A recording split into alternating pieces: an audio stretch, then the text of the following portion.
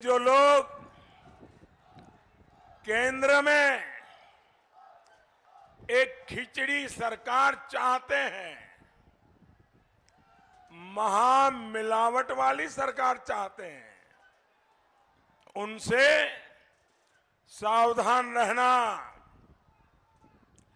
बहुत आवश्यक है। इस महामिलावट से देश को जो खतरा होता है, वो आज के नौजवानों को आजमगढ़ में पहली बार वोट डालने जा रहे युवाओं को जानना बहुत ज़रूरी है। साथियों, एक महामिलावटी सरकार का मतलब देश में अराजकता और अस्थिरता। इन लोगों द्वारा फैलाई अस्थिरता देश ने 20 साल पहले भी देखी थी।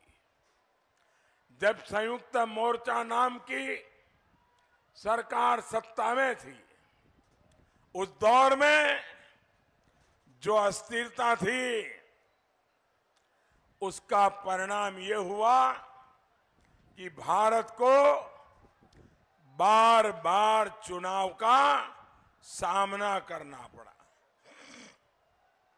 इसके बाद 2004 से लेकर 2014 तक फिर देश ने ऐसी महामिलावटी सरकार देखी। जिसने भारत को दुनिया में शर्मिंदा किया।